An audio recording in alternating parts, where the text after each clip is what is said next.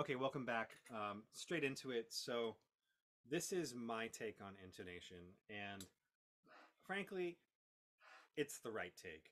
I'm not really shy about saying that um, because it's true. It's just the the best, most fun, most efficient way of tackling intonation on the trumpet. Now, hopefully, everybody here knows the trumpet is not in tune.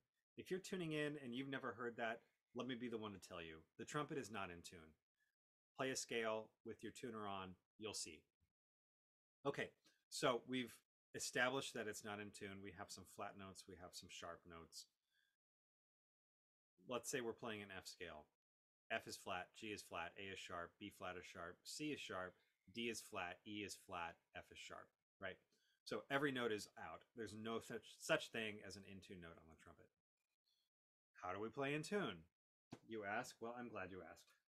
So here's the bad way. Here's the way most people are are sort of approaching this um, the wrong way. So let's say I've got, you know, I'm on a C trumpet. I've got my little trigger.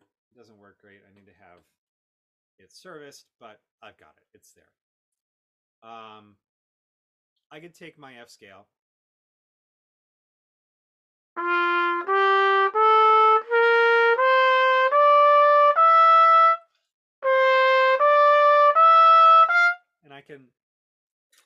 notes down. I can lip them into place. I can even use my my thumb. I can go to the trumpet store and buy a trumpet that has a really great, you know, thumb trigger or or pinky trigger or whatever, and I can tune those notes like that.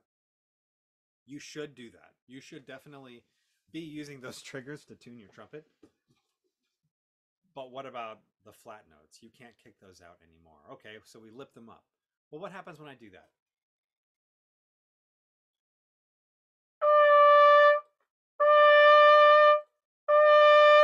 They get brittle. They also become hard to play.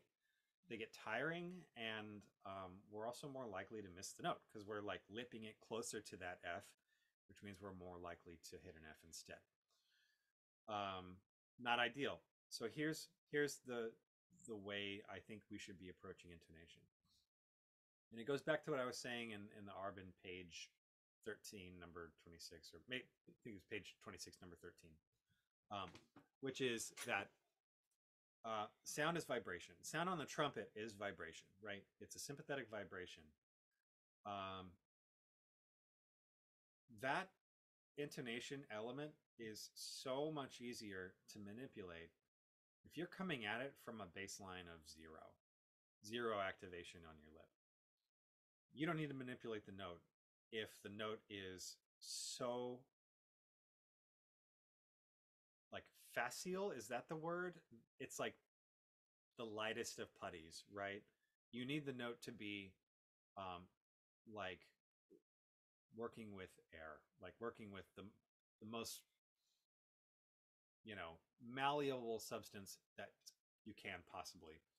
Um, I'm coming off a really long Easter gig. I don't like have the most fresh face in the world, but I bet that I can still do a pretty darn good job because I have a fundamental understanding of this principle.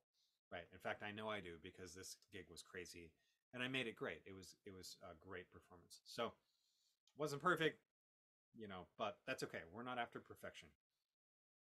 Here, here is, oh, I don't know. Let's see. Um, Robin Adair. So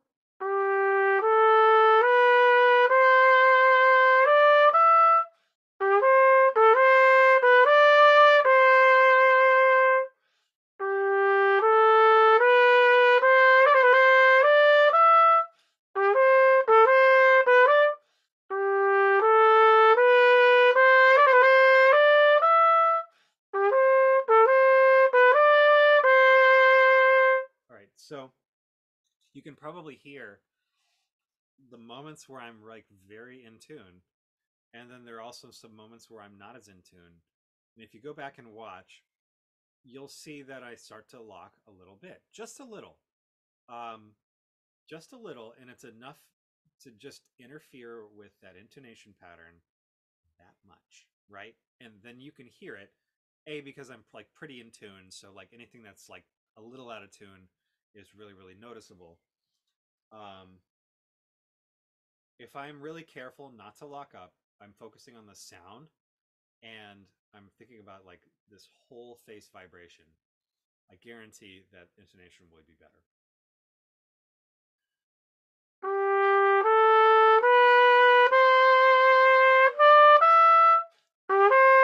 So I'm placing that last E and I don't like it. As soon as I don't place it, it'll sound more in tune.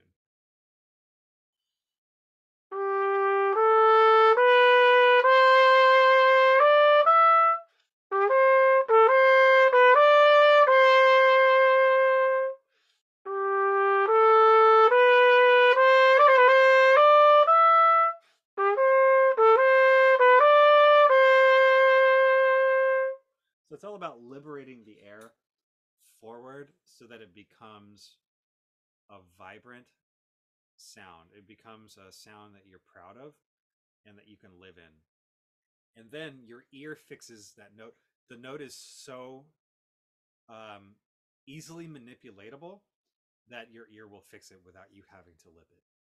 Because you can hear a scale, you can hear the do re mi fa sol la ti do, right? You know, I can't sing it as in tune as I can play it. Um, yeah, you can also practice singing in tune because there is a connection between what you're able to sing and what you're able to hear, which then fixes the problem exactly like I just explained. So that's that's my approach on intonation. Maybe the first step is making sure that you know what intonation sounds like.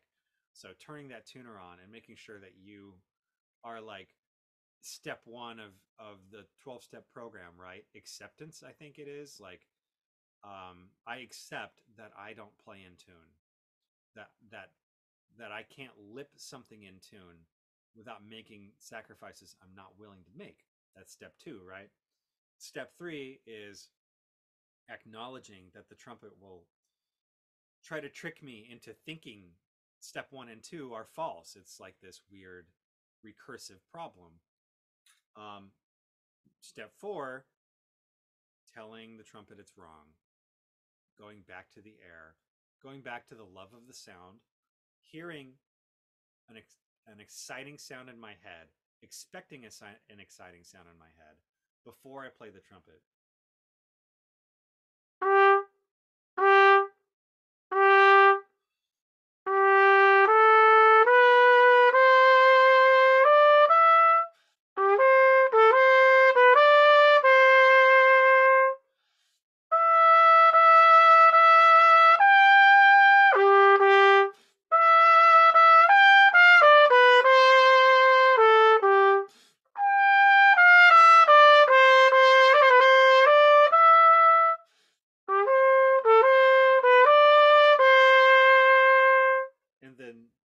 Delivering something that's already on you know the recipient's front door.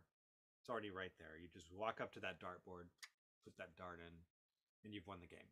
So think about this let it again i realize that this might sound i don't know revolutionary um i didn't believe it when i first heard it but if i hadn't i would not be the player I am today. I zero chance of that. Zero chance that I would be anywhere near the player that I am today.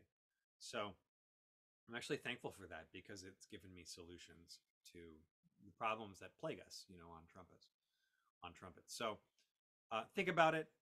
Don't take my word for it. You go practice it. You go try it, um, and give it a week and write me and let me know how it goes you need suggestions, I'm here. I'm all, all yours. Just let me know. All right. Um, one more video coming tonight. Uh, I want to talk about my descending lip slurs. So keep on the lookout for that, and I'll see you then.